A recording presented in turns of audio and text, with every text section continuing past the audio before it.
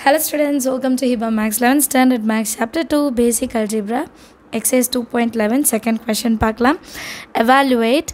256 power minus 1 by 2 அதுக்கு whole power minus 1 by 4 again பவரில் three இருக்குது ஸோ இந்த நம்ம எவாலுவேட் பண்ணோம் ரொம்ப ஈஸியான ஒரு கொஷின் தான்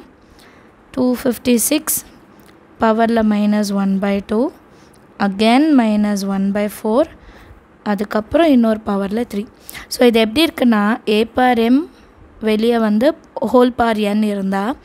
that is equal to a power m into n so இந்த பவர்ஸ் எல்லாம் நம்ம மல்டிபிள் பண்ணாலே போதும். அண்ட் அதுக்கு முன்னாடி டூ ஃபிஃப்டி சிக்ஸை நம்ம ப்ரைம் ஃபேக்டரைசேஷன் பண்ணி டூ பவரில் எடுத்துக்கலாம்.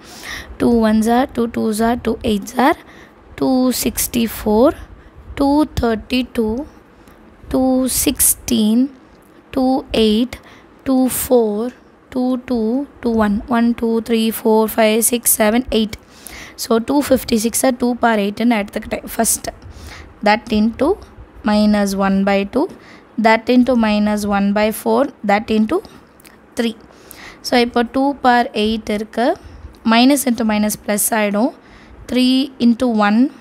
three divided by two four or eight eight eight என்ன பண்ணிடலாம்?